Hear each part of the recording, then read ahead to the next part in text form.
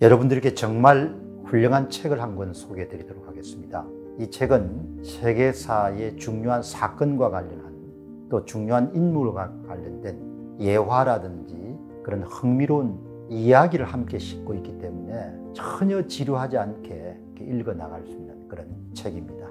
여러분께 정말 아주 강력하게 추천하고 싶은 책이 기독교로 보는 세계 역사입니다. 지금은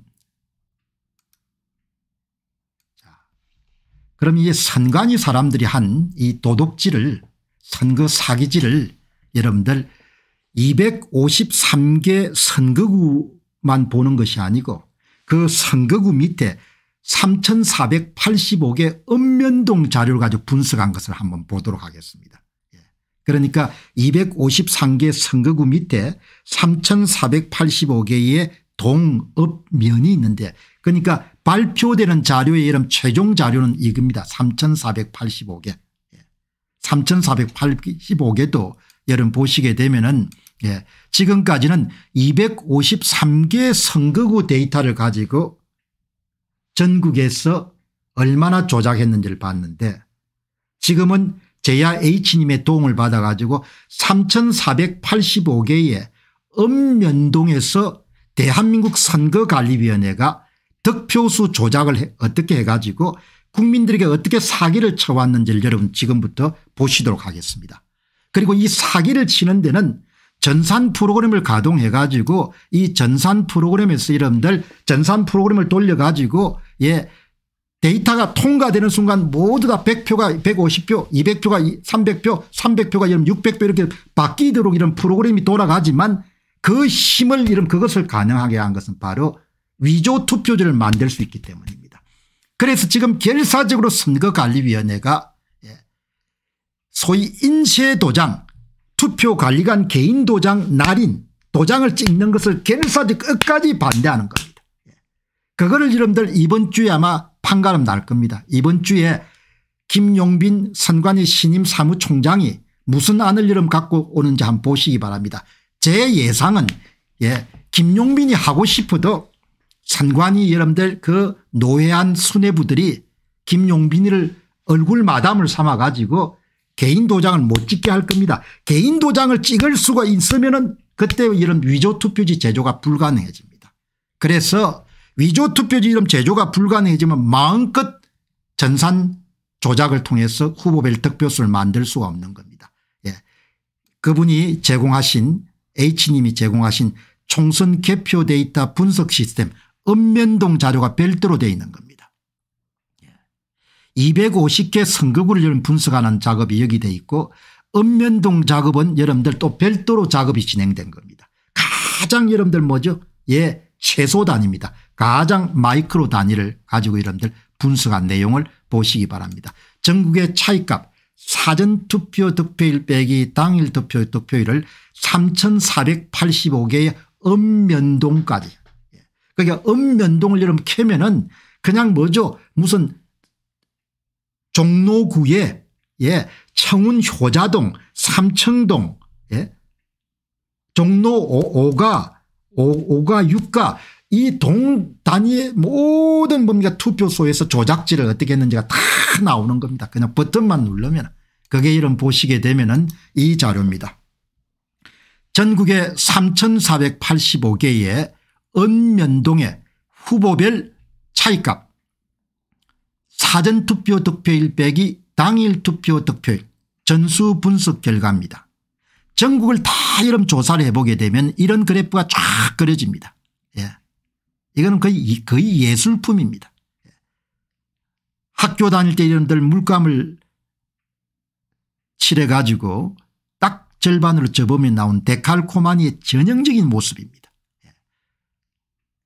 전국의 평균값은 8.90% 더불당 국힘은 마이너스 8.79%입니다. 이게 이런 뭘 뜻하는 겁니까 얼추 호남을 다 포함해 가지고 9% 플러스 마이너스 9%입니다. 2918 사전투표 투표자 수의 18% 정도의 득표수를 조작한 겁니다. 4.15 총선에서 누가 대한민국 선거관리위원회가 이런 예 전산 프로그램을 가동해 가지고 모든 숫자를 다 만져서 이, 이런 데이터를 만들어낸 겁니다.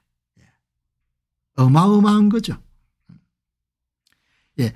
광주를 제외한 서울 충남 2170개 읍면동의 차이값이 더블당은 모두 플러스입니다. 예. 여러분 2170개에서 더블당이 모두 다 플러스가 나온 겁니다. 더블당이 모두 플러스가 나올 수 있는 확률이 2분의 1입니다. 0.5. 0.5에 2170성인 겁니다. 0.5를 2170개 여름 곱한 확률인 겁니다. 계산기로 어떻게 계산이 될 수 있을지 모르겠는데 광주를 제외한 서울 충남 2170개 은명동의 차이값이 더블당은 모두 플러스 값 국힘당은 모두 마이너스 값 2분의 1에 2170성 곱하기 2분의 1에 2170성이 되는 겁니다. 이런 짓을 대한민국의 선거관리위원회가 했고 이 선거가 50억 클럽으로서 이름, 이름 날렸고 이재명 관련된 판결에 재판 거래 여러분들 의심을 받고 있는 권순일이 위원장이었고 조혜주가 여러분들 사무총장으로 있던 선거였습니다. 이거는 여러분들 대역죄를 저지른 겁니다. 나라가 망하지 않고서는 여러분들 이런 엄청난 범죄를 다 덮을 수가 없는 겁니다. 이런 짓을 한 겁니다. 이번에 제야 H님이 이런 분석이 크게 기여한 것은 전수조사기 때문에 그냥 시각적으로 특별한 뭐죠 교육 배경이 없는 분들도 다 어휴 저게 큰일 났구나 이렇게 느낄 수 있는 여러분들 것을 보여주는 겁니다. 예. 그게 여러분들 전국 3485개 은면동에 이 분석이 갖고 있는 의미인 겁니다. 여러분 더 눈을 크게 뜨시고 한 번 더 보시기 바랍니다. 예. 광주를 제외한 서울에서 충남 2170개 은면동의 차이값이 더블당은 모두 플러스값의 기현상입니다. 광주를 포함한 서울 충남 2265개 읍면동의 차이값이 국힘당은 모두 마이너스 값의 여러분들 기현상이 발생한 겁니다.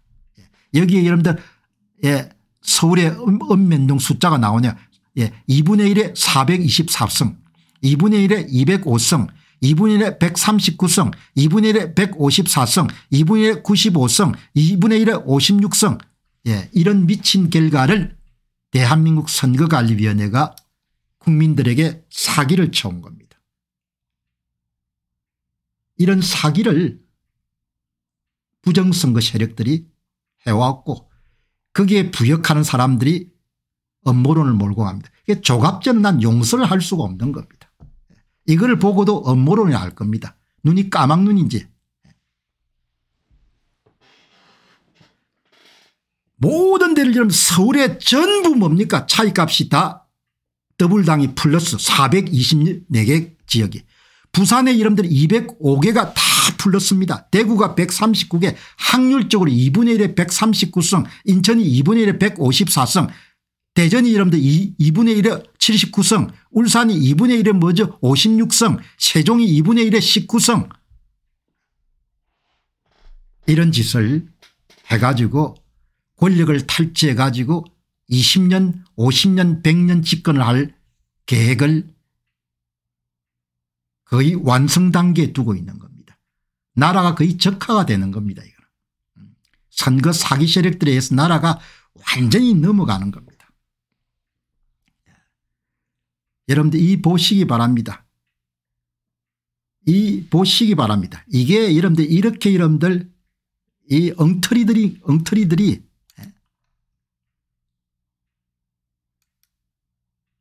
여러분 이거를 이거를 잘라 가지고 충남까지 보고 충남 이후를 한번 봤습니다. 이거를 여러분들 충남을 보시기 바랍니다. 이게 충남까지입니다. 크게 이름 한번 보시기 바랍니다. 눈 크게 뜨시고 예.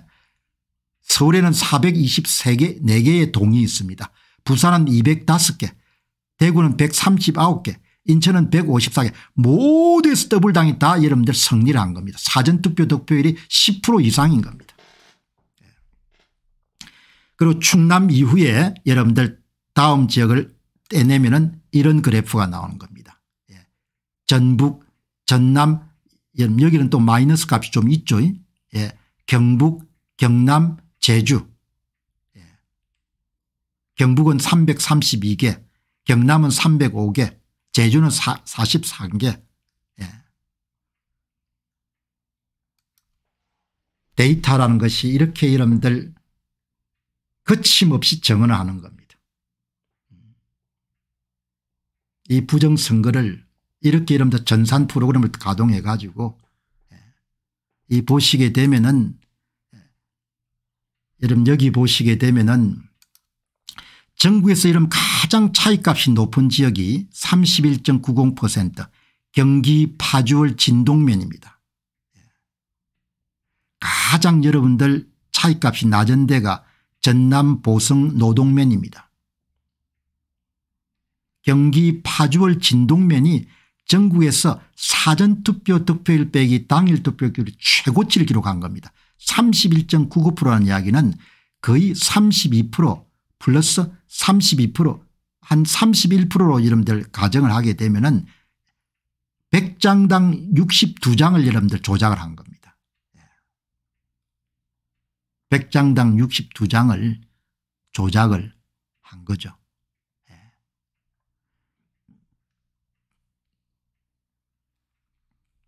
그런데 이 경기 파주월 진동면을 보시게 되면은 예, 경기 파주월 진동면은 4.15 총선 당시에 큰 문제가 됐던 지역이지 않습니까 예.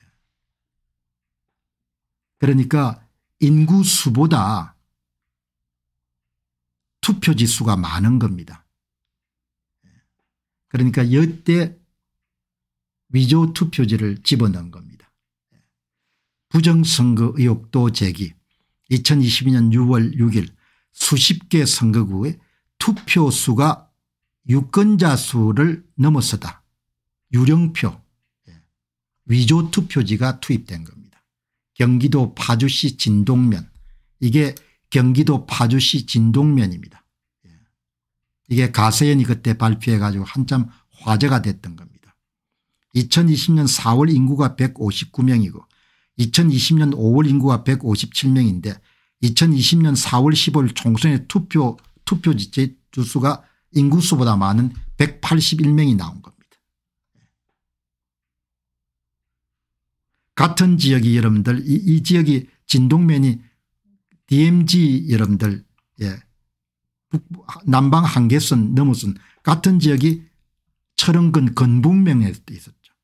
사람 숫자보다도 투표수가 많은 겁니다.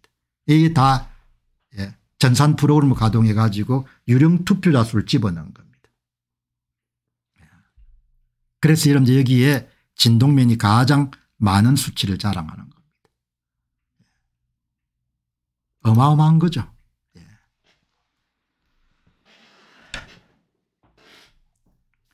어쨌든 뭐 이 선거 부정이 건절이 돼야 되는데 뭐 제가 할 수 있는 일은 그런 이런 사실을 밝히는 것이고 이런 대열에 제야 H님께서 동참을 하셔 가지고 이렇게 한 자료를 예, 여러분 이 보시게 되면은 이거는 예, 이거는 예, 선거구 253개의 기준으로 해 가지고 사전 투표 득표일 빼기 당일 투표인 차이값 그래프를 나타낸 것이고 이거는 3485개의 읍면동을 가지고 이런 차이값 그래프를 나타낸 것이고 약간의 이름들 이 크기는 차이가 있죠.